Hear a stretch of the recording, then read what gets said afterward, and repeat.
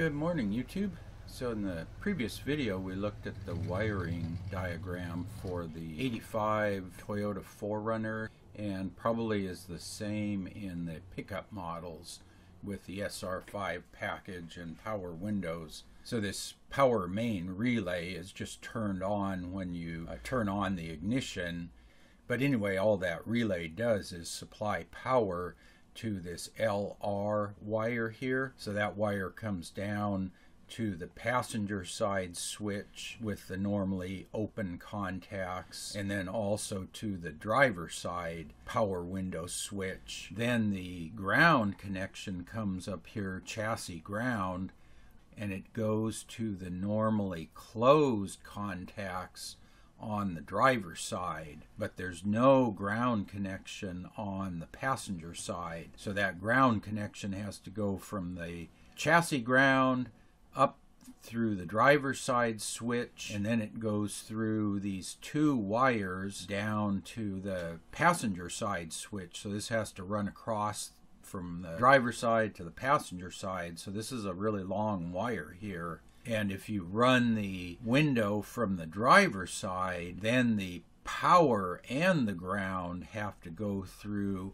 this long wire. You've got 12 volts coming down here and you've got ground coming down the other side. So that's why the passenger side window, if you're running it from the driver side switch, always runs a little bit weaker it might not be able to roll the window up all the way. So anyway, that was the 85 wiring. Let's take a look at the 88 wiring here. Okay, so this is the 88 SR5 4Runner and again pickup. Now I don't know when this feature came in, if it was earlier like 86 or 87 so one of the things they added was power door locks here. And they added, instead of just that power main relay, there's now what they call a door lock control relay. So this used to be a really simple four or five pin relay, and now it's really complicated. And then one other thing they added here, this is your driver side power window switch. It's identical to the previous one, but the passenger side switch, they added this, what they call lock switch. So this switch, you can open this switch and then disable the passenger side power window. And I think this was done as a safety feature. The problem was maybe a kid had their arm or a head out the window and then they could accidentally hit the up switch and roll the window up. So I guess that's one of the features they added in the mid to late 80s was this power window lock feature. So my 85 4Runner didn't have anything like that. So now you have this lock switch, and we'll see that later. It carries over. But when you lock the power windows, even the driver's side switch for the passenger side window doesn't work. So if that switch opens up, none of your other power windows will work. I guess that's kind of a common problem. People forget they had that switch open there and their windows don't work and they wonder what's going on. So here we go to the second gen 4Runner. This was a 1990 wiring diagram and you can see it's pretty much the same setup here except now they have what they call a power window relay this relay is more than just supplying power. I don't know if they have like an automatic raise or lower feature so that you could like close all the windows or something. They have a resistor here in the ground connections. I don't know if they are measuring voltage drop across that resistor to measure the motor current or something because that's something new and then they have this same lock switch here that kills the ground connection to the three passenger windows, or if you're in a two door model or a pickup, there's of course just the two windows. But then you have pretty much the same wiring here for all the passenger and rear windows. The switches are different, and I'll show you that in a bit here. It's basically the same wiring, except they've got this fancier power window relay. So let's take a look at the switches now. Okay, so this is the driver side switch on my 1985 4Runner. You had the driver side window and then the passenger side window, and that was it. Just two switches. This is the 88 4Runner or pickup switch. So you have your window lock switch there. I think this is the door lock switch.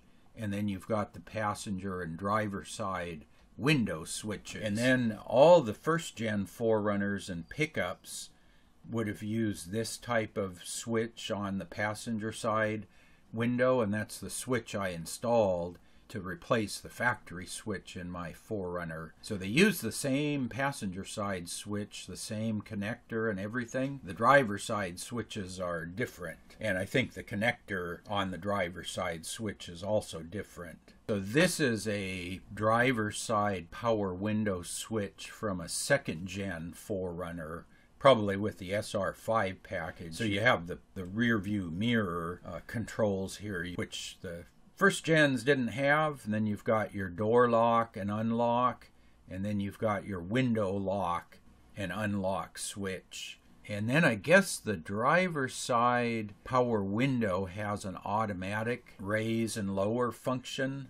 And then you've got the rear seats and then the, the passenger side window switches here. And they changed switch styles. So these switches you push down on the button there to lower the window. But if you hit the button like with your elbow or something, the window's going to go down, but you physically have to hook your finger underneath the lip of the switch and lift it up to raise the window. So I think that was a safety feature. And then here's a close up of what those switch looks like. These switches seem to be a modular design that can snap into the housing.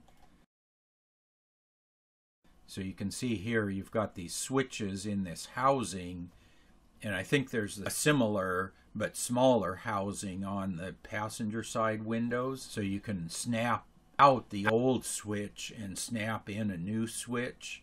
So there's probably some connectors on the back that you can snap that into the switch housing if you have to replace a switch. So all the second gen 1990 through 1995 4Runners and I assume the SR5 pickup models use a similar switch to that. So anyway, that's a look at the uh, power window switches and how they evolved over the years. Started really simple. They were just the two switches, and they went to four switches on a two window vehicle. So, yeah, over the years, they've really increased the complexity of the power windows, but the, the basic underlying wiring is very similar. So they use the same switch setup. You know, they're wired all the same inside. You can see it's the same type of uh, switch. So from the wiring diagram, you can't really tell much of a difference here. So the passenger sides all look identical from the wiring diagram standpoint. The physical switch is different. But anyway, hope you enjoyed that look at the power windows. So if you have a first gen up through 1989 or 1988 on the pickup models, all the passenger side switches are identical. The driver side switch changes. I think the only source for those driver side switches are places like eBay or junkyard but the uh, passenger side switch is definitely easy to replace and i think on the second gen 4Runners somehow the switch i think just pops out of the housing and then you pop a new switch in if anybody's had any experience with that post up in the comment section down below be interesting to see how that process is if it looks as simple as it appears or is it complicated. So yeah, if anybody has uh, done anything like that on a second gen 4Runner or 1990s pickup model, post up in the comment section below. And as always, thanks for watching.